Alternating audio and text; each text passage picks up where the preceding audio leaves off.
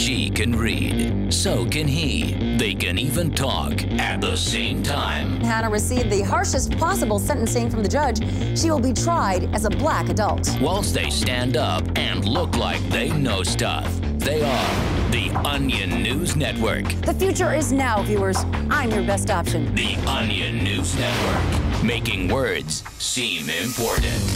Premieres Thursday, October 6th. Exclusive to comedy.